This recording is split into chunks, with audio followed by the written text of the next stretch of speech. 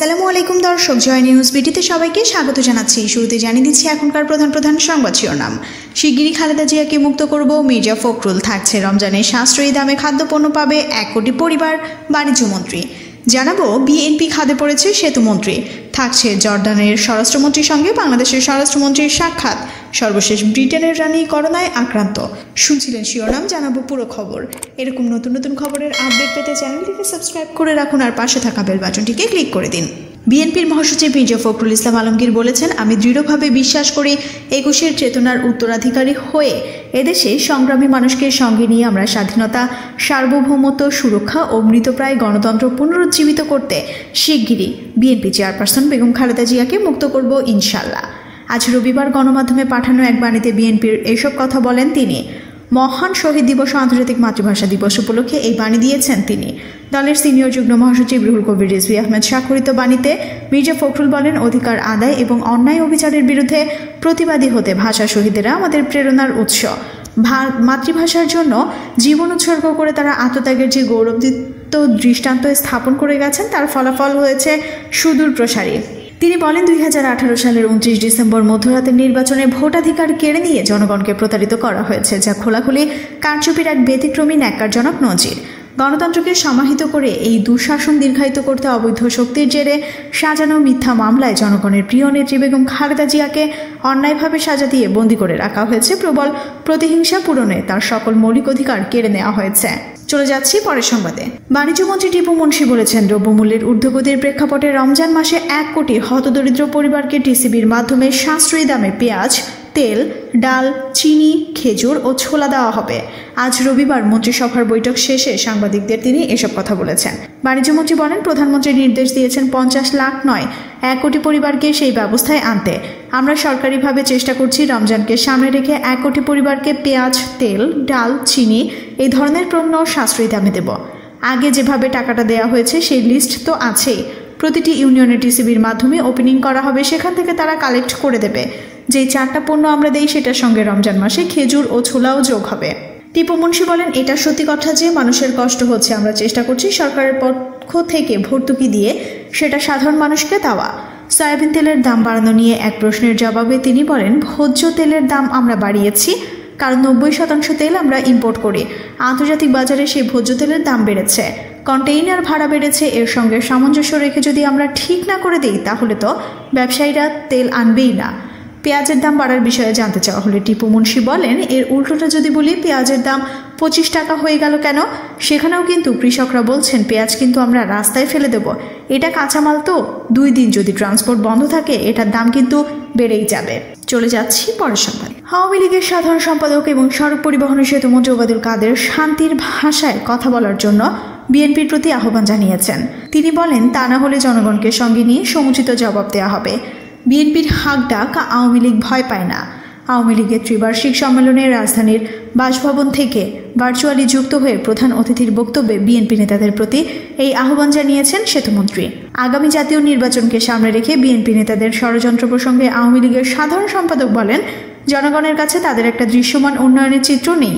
তাই জনগণ বিএনপির সকল ষড়যন্ত্রের মোকাবেলা করে আগামী নির্বাচনে আওয়ামী লীগকে বিপুল ভোটে বিজয়ী করবে। নাটোর জেলা আওয়ামী লীগের সম্মেলনকে কেন্দ্র করে যারা সংঘর্ষে লিপ্ত ছিল, তাদেরকে চিহ্নিত করে শাস্তির আওতায় আনতে সম্মেলন স্থলে উপস্থিত কেন্দ্রীয় নেতাদের নির্দেশ দিয়েছেন ওবায়দুল কাদের। তিনি বলেন, নির্বাচনকে সামনে রেখে নিজেরাই যদি সংঘর্ষে জড়িয়ে পড়ে, তাহলে দেশের সকল উন্নয়ন বিনষ্ট হবে। প্রধানমন্ত্রী শেখ হাসিনার উন্নয়নের গর্ব নিয়ে আরেকটি নির্বাচনে অংশ নেবে আওয়ামী লীগ, যারা অপকর্মের সঙ্গে জড়িত এবং ইউনিয়ন পরিষদ নির্বাচনে দলের ভাবমূর্তি বিনষ্ট করেছে।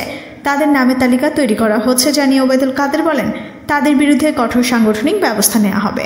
আন্দোলন ও নির্বাচনে ফেল করে বিএনপি এখন খাতে পড়েছে। উল্লেখ করে ওবায়দুল কাদের বলেন, আওয়ামী লীগ ঐক্যবদ্ধ থাকলে বিএনপির লাফালাফি কোনো কাজেই আসবে না। আগামী নির্বাচনে আওয়ামী লীগ ক্ষমতায় আসতে পারবে না। বিএনপি নেতাদের এমন বক্তব্যের জবাবে আওয়ামী লীগের সাধারণ সম্পাদক বলেন, আগামী জাতীয় নির্বাচন যতই এগিয়ে আসছে, বিএনপি ততই হাকডাক শুরু করে দিয়েছে। বিএনপির হাকডাকে আওয়ামী লীগ ভয় পায় না। নাটোর জেলা আওয়ামী লীগের সভাপতি আব্দুল কুদ্দুস এমপির সভাপতিত্বে সম্মেলনে আওয়ামী লীগের সভাপতি মণ্ডলীর সদস্য আব্দুর রহমান এবং A H M Khairuzzaman Liton, যুগ্ম সাধারণ সম্পাদক এবং তথ্য সম্প্রচার মন্ত্রী ডক্টর হাসান মাহমুদ, সাংগঠনিক সম্পাদক এস এম কামাল হোসেন, স্বাস্থ্য ও জনসংখ্যা সম্পাদক ডক্টর রোকেয়া সুলতানা, আইসিটি প্রতিমন্ত্রী জুনায়দ আহমেদ পলক, নাটোর জেলা আওয়ামী লীগের সাধারণ সম্পাদক শফিকুল ইসলাম শিমুল সহ প্রমুখ বক্তব্য রাখেন। চলে যাচ্ছি পরের সংবাদে।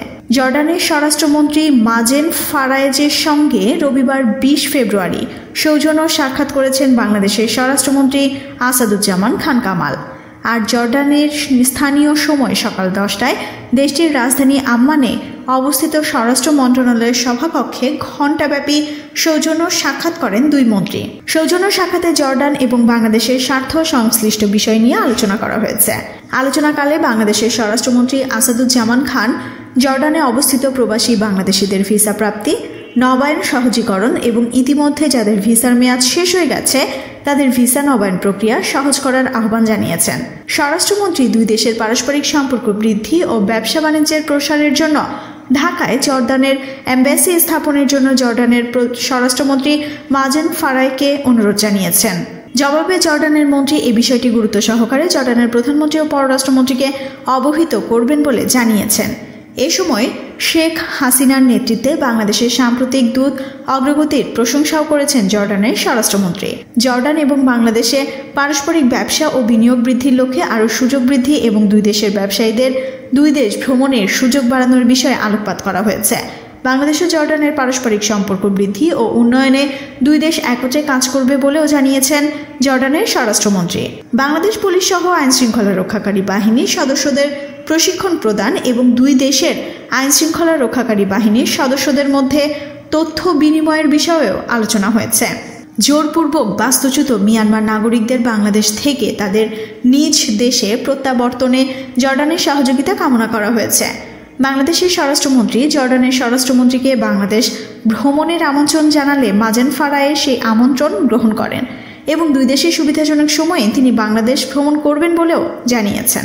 বাংলাদেশের আইন শৃঙ্খলা রক্ষাকারী বাহিনীকে প্রশিক্ষণ প্রদান ও গোয়েন্দা তথ্য বিনিময় সহ মাদক সমস্যা সমাধানে দুই দেশ একসঙ্গে কাজ করবে বলে মন্ত্রীদ্বয় একমত হয়েছেন। বৈঠকে বাংলাদেশ ইমিগ্রেশন এবং পাসপোর্ট অধিদপ্তরের মহাপরিচালক মেজর জেনারেল আইয়ুব চৌধুরী, সুরক্ষা সেবা বিভাগের অতিরিক্ত সচিব মোহাম্মদ আবদুল্লাহ আল মাসুদ চৌধুরী, জর্ডানের নিযুক্ত বাংলাদেশের রাষ্ট্রদূত নাহিদা সোহান স্বরাষ্ট্রমন্ত্রীর পিএস আসাদুজ্জামান ও জনসংযোগ কর্মকর্তা মোহাম্মদ শরীফ মাহমুদ অপু উপস্থিত ছিলেন।